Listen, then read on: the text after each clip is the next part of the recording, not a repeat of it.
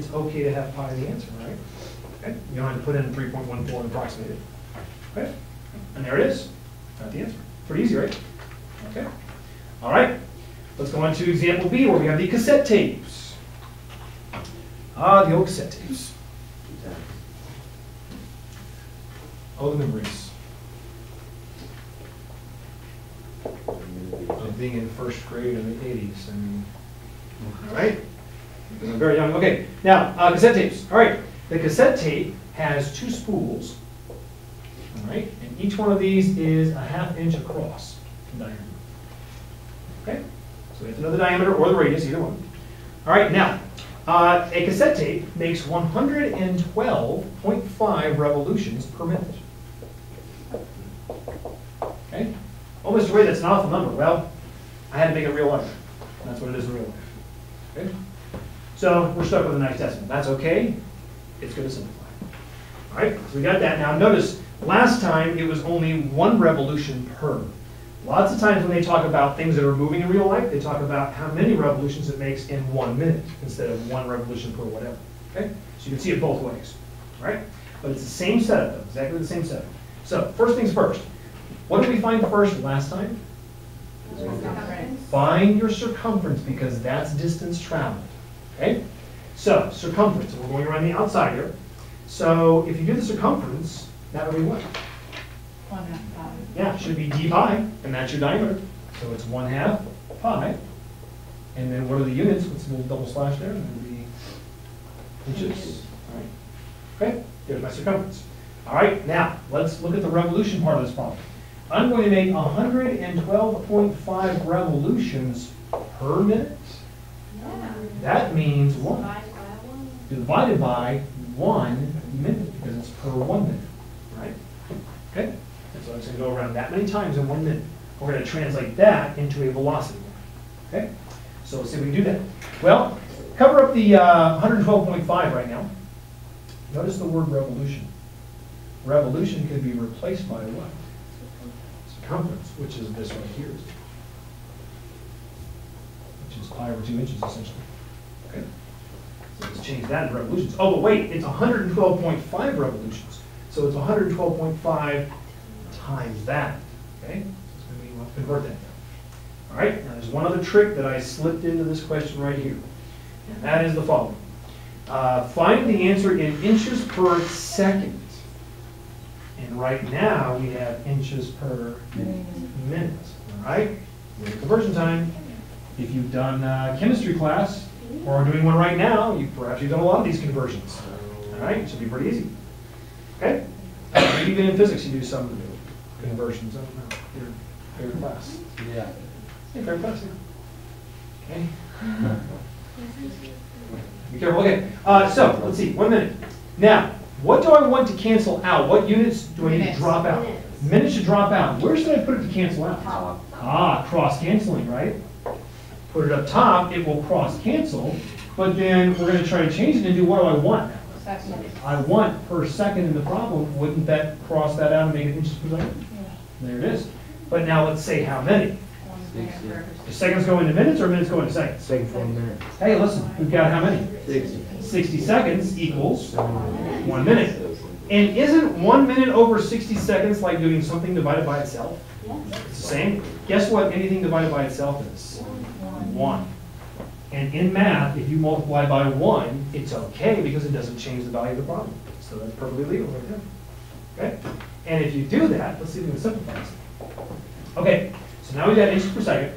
Here's what I would do. You can't leave a fraction inside of a fraction. Remember that? Okay, kind of like with the sine, cosine, tangent stuff.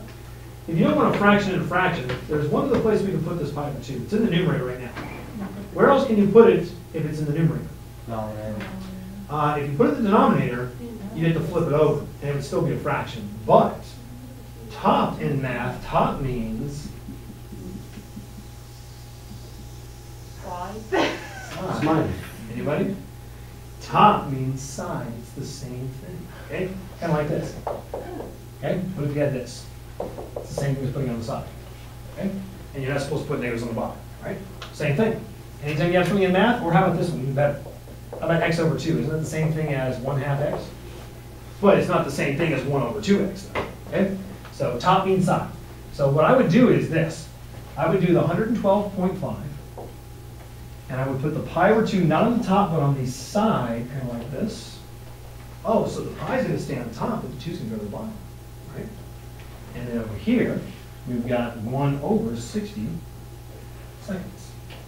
Okay, so slide that pi over two right off the edge, put it on the side over there.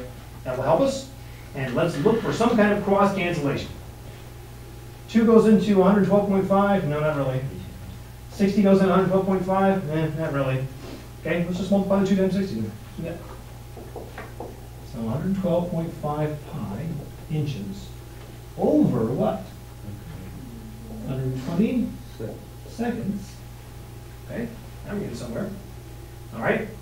You also can't leave what else in a fraction? You can't leave a decimal in a fraction, can you? Okay, not allowed. You have to have a regular number up top, regular number on the bottom, nice integers here. So, let's do this, let's play a new game. It's called scoop. I'm gonna put my finger on that decimal and my finger on this imaginary decimal right here, and I'm gonna scoop them together, how much? One to there. And if you scoot, it would be one one two five pi inches over what? One thousand two hundred seconds. Okay? This problem has all kinds of good stuff in it. Scooting decimals, sliding fractions, converting, tons of good stuff. This is probably like the longest one too, the whole entire chapter, right? Okay? But each step is not that hard. It's just a few steps. Now, the last thing I would do is try to reduce anything you can reduce. Is there anything I could put into these two numbers right here? Five. Okay, five definitely. I think there's even a better one. Twenty-five. Twenty-five. I think twenty-five will go into both of those. Here's what I'm thinking, all right, a little side note here, it's kind of like patterns. Twenty-five, that's kind of like twelve dollars, and you're trying to put quarters in dollars. How many quarters are in one dollar? Four quarters in a dollar, so how many quarters are in twelve dollars?